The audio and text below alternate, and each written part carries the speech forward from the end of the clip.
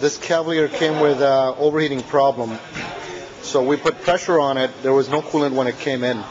We put uh, some water in it just to check where the leak is.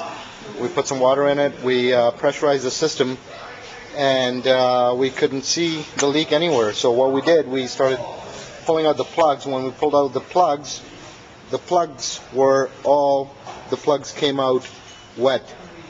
Okay, the tips were all wet on the plugs, on all four plugs.